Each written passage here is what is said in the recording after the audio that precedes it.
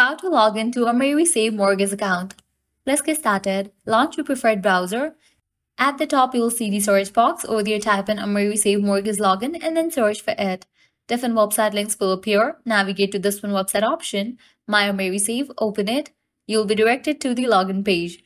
Now from here, you can easily get access to your account. All you have to do is provide the credentials. Type in the email or phone number and then click on next.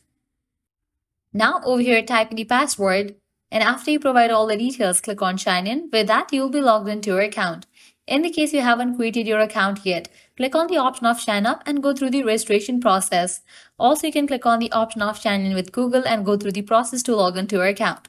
So this way you can easily log into AmeriSave Mortgage account. If this video was helpful, don't forget to like, share and subscribe to our channel. Thanks for watching.